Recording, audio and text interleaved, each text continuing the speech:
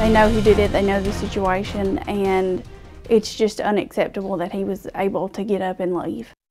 A man on the TBI's most wanted list slips through the cracks after he was taken to the hospital and somehow got away. Edgar Torres Rangel allegedly hit and killed a 29 year old woman in a drunk driving crash. News 4's Rebecca Cardenas live at Vanderbilt University Medical Center tonight. So, Rebecca, how did this happen? Well, that's the big question, Tom and Tracy. Torres Rangel was airlifted here from Shelbyville the day of the accident. Even after THP issued a warrant for his arrest, somehow he got out of the hospital. Now, THP and VUMC both say that protocol was uh, followed on both of their parts, but the community that this young woman is from say they want someone held accountable. When somebody called and said, Did you hear who it was? And it was pretty devastating. Brooke Sanders' friend calling to say her close friend Carrie King was killed in this crash, hit head on by a suspected drunk driver. She was probably the best person I'll ever know.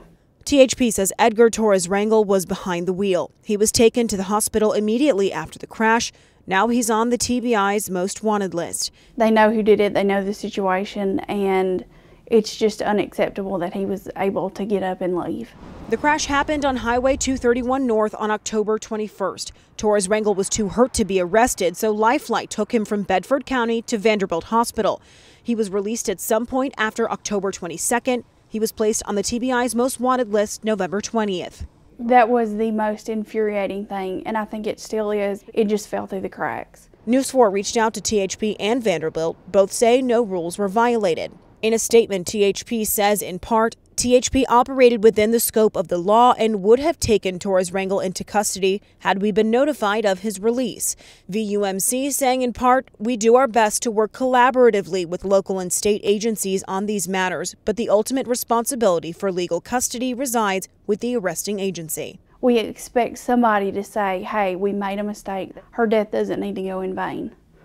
This is an issue that doesn't need to come up again. No one else should have to go through this. Now, Brooke says that she and several members of her community have been in contact with their local representatives, urging them to write legislation to prevent this from ever happening again. Tom, Tracy? Oh, Rebecca, thank you very much.